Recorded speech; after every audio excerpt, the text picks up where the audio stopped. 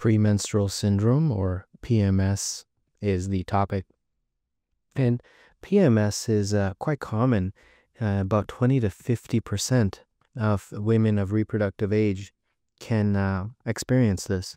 And in a small percentage of uh, females, you can get PMDD, which is sort of the severe form of PMS, which is premenstrual dysphoric disorder. And I'll talk a little bit more about that later. In terms of etiology, why does this occur?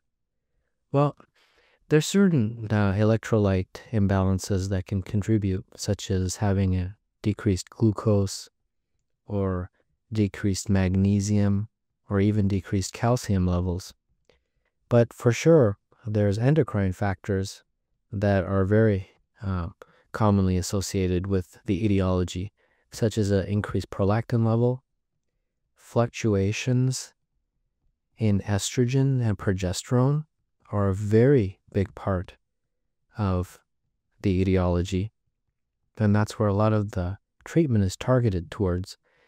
And also other uh, hormones such as increased aldosterone and ADH can result in fluid retention and decreased serotonin can result in depression.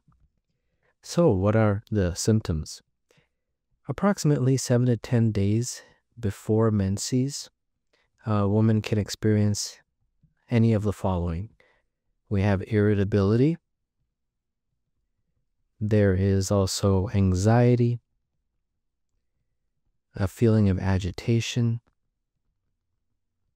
anger, difficulty sleeping, insomnia. Of course, I discussed depression. That can also be a big part of it.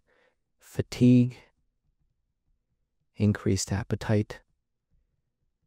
These are some of the key uh, symptoms that uh, are involved in PMS.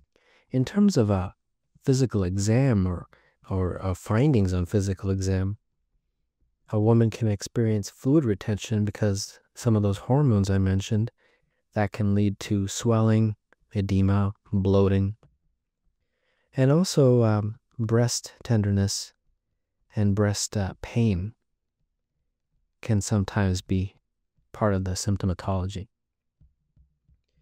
Now let's talk a little bit about the symptomatology of severe PMS, which is premenstrual dysphoric disorder. This is, of course, a severe or extreme type of uh, PMS, which happens in about 5% of women. And it involves a very uh, depressed mood to the point where the woman is tearful and even sometimes suicidal. And this uh, is actually very distressing and disabling with regard to day to day functionality. In terms of diagnosis, really it's just a clinical diagnosis based on history and physical exam. There's no lab tests that are required. And in terms of treatment, treatment of PMS is quite difficult. It really varies from woman to woman as regard to what is effective. But here are some of the more common methods to uh, dealing with PMS. The first is if a woman is experiencing depression, SSRIs serotonin selective reuptake inhibitors are medications that are commonly used. Now, the biggest one by far in terms of effectiveness in prescriptions is oral contraceptive pills. These are combinations of estrogen and progesterone, either estrogen mixed with progesterone or sometimes one of those hormones by themselves. And what they do is they have this effect of flattening out the body's hormone levels. And what that does is that it makes it possible to not have any of these peaks and troughs that are responsible for the symptomatology of PMS.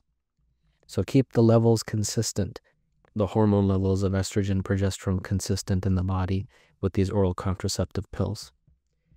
Sometimes, in addition to these uh, treatments, some nutritional supplements can help And one of the most common ones is vitamin B6. Vitamin B6, um, also known as pyridoxine, can be used.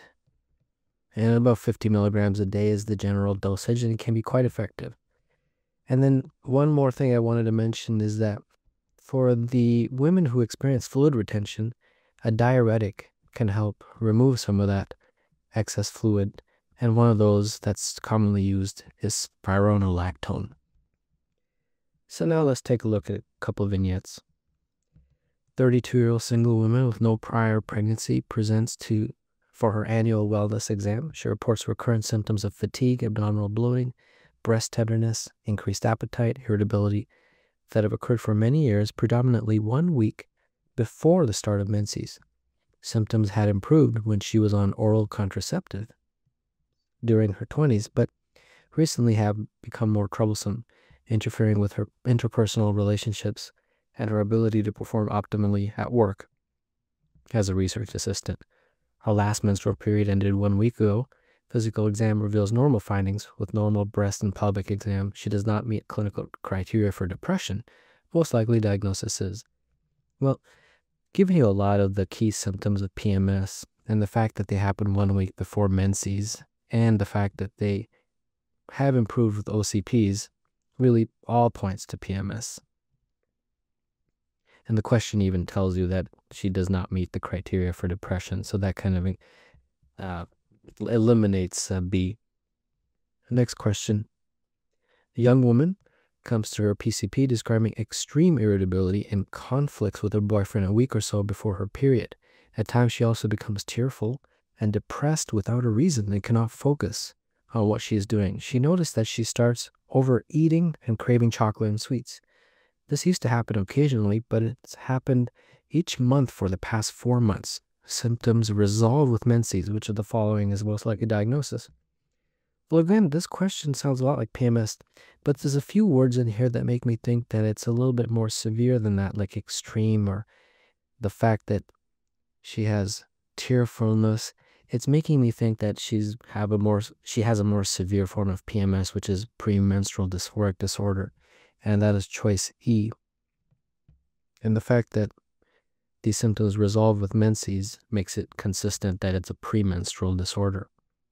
And finally, the last one 32 year old female presents with complaints of moderate irritability and anxiety during week before nearly all of her menstrual periods.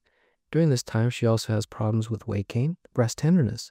She says she is her usually happy self at other times during the month, you diagnose PMS, which of the following complementary and alternative therapies have been shown to be helpful in reducing symptoms of the problem. Well, we talked about uh, treatments such as SSRIs uh, for depression, oral contraceptive pills, and certain nutritional supplements such as vitamin B6. And vitamin B6 is choice D.